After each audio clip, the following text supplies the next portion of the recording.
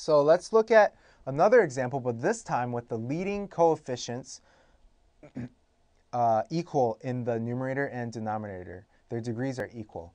So right here we have x to the fourth and x to the fourth. So we'll just go ahead and divide by x to the fourth again. And rewriting this, we get limit as x approaches infinity, 2x to the fourth over x to the fourth plus 2 over x to the fourth all over 6x to the fourth over x to the fourth plus 3x cubed over x to the fourth plus 2x squared over x to the fourth plus 1 over x to the fourth.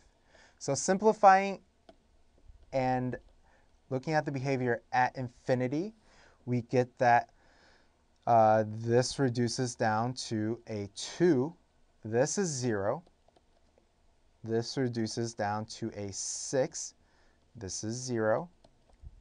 0 as well. And last term is 0.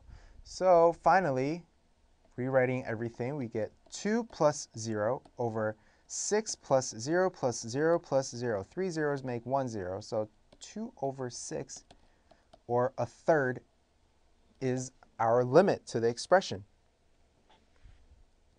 And that is an overview of solving limits algebraically when we can't really graph out the whole thing by hand.